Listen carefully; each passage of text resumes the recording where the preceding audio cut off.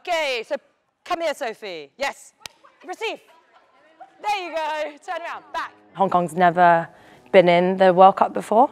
They've always come maybe third or fourth in the Asian Championship. Uh, so this will be uh, a major sort of step for Hong Kong in terms of netball. Go. Hi, my name is Shirley. I'm a secondary PE teacher at Kellett and I play netball for Hong Kong.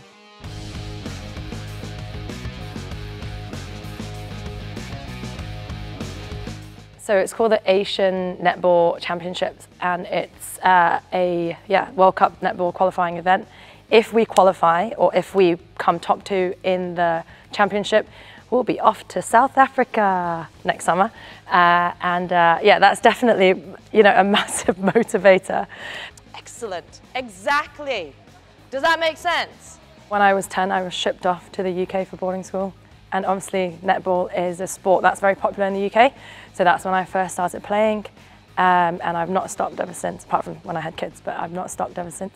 Run right up to her back and then you come out. Does that make sense? Yeah, I think my goal has always been to get back into the squad or stay on the squad for as long as possible uh, whilst having a family and obviously a full-time job and sort of building my career as an educator.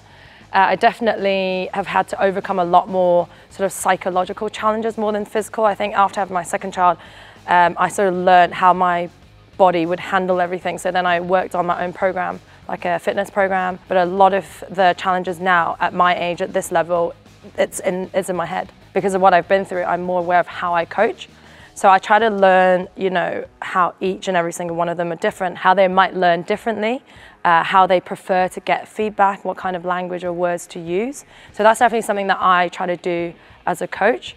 In terms of what I teach them, I think is to just remember they're there for a reason and that they need to first back themselves no matter what. Uh, and then when they get on court, they make a mistake, it is really difficult and it's easier said than done. It's to get over it quickly or get it back for the team to play for each other. The um, sort of motivation behind a team sport is you're playing for each other. So I think that's definitely one of the things that I would like to be able to teach them and coach during coach them during trainings.